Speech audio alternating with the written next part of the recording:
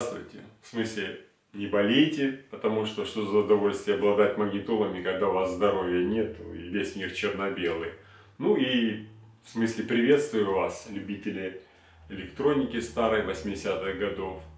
А сегодня хочу рассказать о магнитоле э, National RX 5135. Э, Я задумался, потому что есть ее практически полный аналог – модель 4960 отличается от нее а, в первую очередь цветом. Она такая черная, и все элементы у нее черные, и ручки черные, то есть как бы черная при черной комнате стоял черный при черный стол, и там еще там черный при черный рог.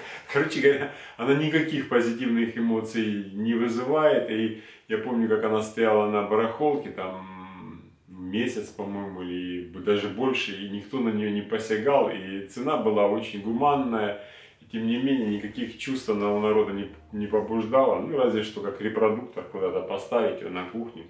Ну, это тоже, скажем так, э, вариант, я бы назвал бы кухонный, потому что э, я не знаю, куда отнести ее. Батончиком, она для батончика высоковата, вот, видите, размер у нее такой довольно большой. Полноценным магнитолом тоже нет, а для них она низковата, ну, такой вот переросток батончика, скажем, такой. Но, тем не менее, она неплоха. Она, конечно, обладает э, малыми функциями, то есть здесь только тюнер есть и э, кассетный магнитофон, никаких входов, ничего там другого нет. Но, тем не менее, э, вот в этих двух ипостасях она играет вполне нормально. А, тюнер тут четырехдиапазонный. Почему я, собственно, взял эту магнитолу сегодня? Потому что там мне понадобилось что-то там а, на коротких волнах и обратил внимание, что не включаются короткие волны и средние волны. То есть окислился полностью переключатель. Тут есть переключатель FM, двое коротких, средние волны. Ну, эта болезнь лечится очень легко. Я взял э, ну или аналог ВДшки у меня тут стоит. Попрыскал туда и, собственно говоря, через 2-3 э, минуты пощелкал и все работоспособность восстановилась, функциональность ее. Ну, давайте я скажу, что тут есть сверху. Я, собственно, и камеру специально поставил сверху, ну, раз магнитола такая двухсторонняя, скажем, то желательно показать и то, что находится наверху. Может, тут вся и красота находится. Ручки хромированные. Здесь э, одна общая ручка тембра, бас-трибу, по центру стоит на нулевое положение, баланс, громкость и, собственно говоря, кассетная дека, 6 кнопок, а кнопка записи, она, видите, вот она, кнопка play мы нажимаем, она уходит вниз, а кнопка а, записи остается. Если там стоит кассета с выломанным окошечком, она не включится, это а, кнопка оранжевая. А, кнопка настройки тюнера, переключатель радио и магнитофон, как я уже говорил, четырехдиапазонный тюнер переключения и моностерео. Больше тут ничего нет. Спереди, как видите, еще более просто все на динамике. Э, никаких высокочастотников нету. Хотя я вот смотрел схему только что 4960, там на схеме у них там вроде бы есть э, керамические твиттеры, то есть пьезодинамики высокочастотные. Здесь этого нет. Это микрофонные э, входы, ну не входы, в смысле, сами микрофоны стоят. А кассетница, вот она без э, демпфера. Э, один светодиод, моностерео и вертикальная шкала настройки тюнера. Шкала тут интересная, здесь червяк стоит, никаких там ниточек нету, ни полосочек э, зубчатых, которые постоянно ломаются. Э, грили, грили, по, на мой взгляд, очень даже такие неплохие. Сейчас даже ближе вам поднесу, посмотрите, их такие в старом стиле сделанные. Что хорошо, за грилями стоит мелкая-мелкая-мелкая сеточка, типа как вот знаете, женские чулки, это здорово спасает динамики от всякой пыли. Ну и, собственно говоря, больше тут ничего. Ну, давайте я включу. Сейчас громкость, наверное, приглушу.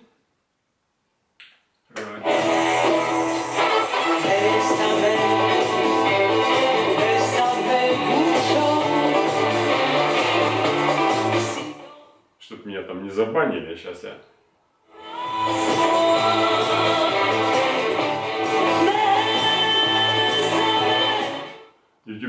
сечет. Даже когда ты записываешь ролик, э, еще не выкладываешь, они пишут, что авторские права принадлежат такой-то фирме, запрещаем э, на, во всех регионах этот ролик. Поэтому...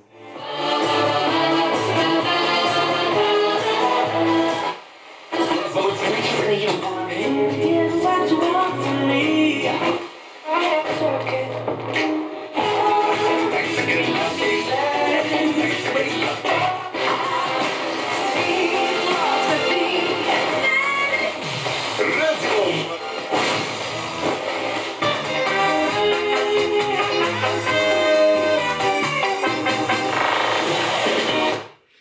видите, 12-сантиметровые динамики полностью отрабатывает свое предназначение. Звук довольно хороший, я не знаю. Тут у меня есть из читателей, смотрителей моего канала, которые говорят, там низких не хватает, высоких. Ребята, это магнитола. Магнитола не очень высокого класса. Я вообще, честно говоря, всерьез магнитолу не воспринимаю. Я любитель стационарной техники, там усилитель, дека кассетная, как полагается. А это уже такой вариант облегченный. Поэтому ну, не надо судить э, по гамбургскому счету такие аппараты. Ну, давайте я покажу, что там сзади. Э, справа тут только есть наушник, разъемный наушник, э, сетевая вилка, вход. Здесь никаких ни входов, ни выходов нету, ничего. Вот тут есть один, э, одно отверстие и стрелочка. Если мы засунем сюда плоскую отверточку, мы точно попадаем на шкив двигателя, и мы можем прокручивать шкив двигателя. Вот если мы будем крутить в направлении правильном, то есть в рабочем направлении. А такая вещь на Panasonic бывает часто, но она больше характерна для аппаратов, у которых там soft-touch. Если там заклинила дека, вы можете прокрутить ее в принудительном порядке, и она там откроется. Для чего здесь это сделано, я не знаю. А, я забыл еще одну, одно маленькое колесико, оно какое-то темненькое, такое, вот его и не видно. Это fine-tuning для а, коротких волн, точная настройка. Ну, давайте я вам сейчас, я тут заранее винтики открутил. Я хочу показать внутренности ее. Сейчас я сниму ручечки. Так довольно туго снимается. Вот. А ручку настройки не надо. Она на червяке находится. И... А, я же забыл вам кассетную, кассетную деку включить, да? Ну ладно, сейчас на секундочку туда. Скажете, что не работает.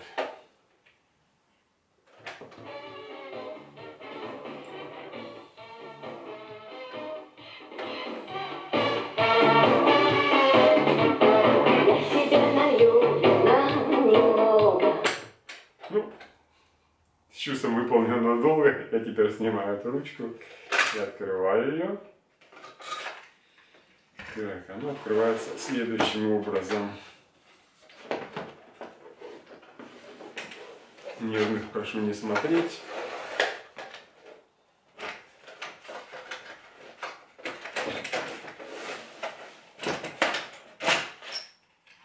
Сейчас сниму разъем наушников то есть э, динамику. Вот как выглядит она внутри. Вот этот разъем на, на динамике. Вот обратите внимание червяк. Червячная передача на стрелку. А здесь стоит такое большое колесо с косыми зубьями. Колесо верниера. Мы когда крутим, червяк крутится и колесико прокручивается. А что тут еще интересного есть? А, магнитная головка, постоянный магнит. Ну, аппарат не очень высокого класса, поэтому так сделали.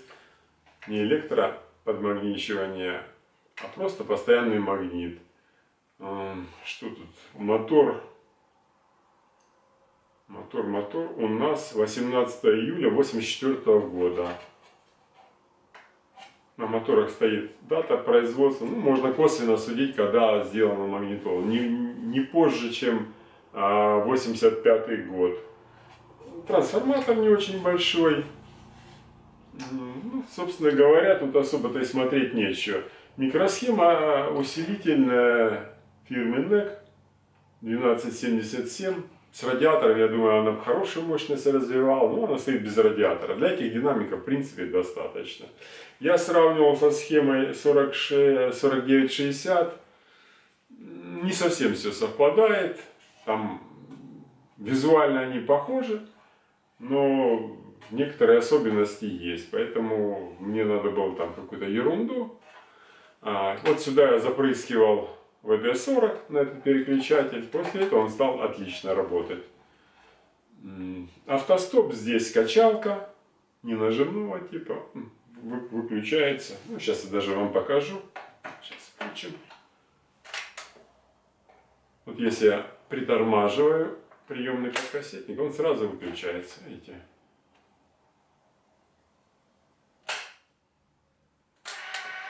Перемотка одна перемотка другая, ну, пауза. Очень все простенько. Уже пластмассовая протяжка, уже не металлическая, но тем не менее вот для такого класса аппарата вполне нормальный аппарат. Сейчас его соберу. Ну, я не знаю, получили вы какую-то дополнительную интересную информацию о магнитолах фирмы Panasonic. Ну вот характерный аппарат для скажем, ниже среднего уровня класса а, магнитол. Спасибо за внимание. Буду стараться вам давать какую-то другую информацию. До свидания.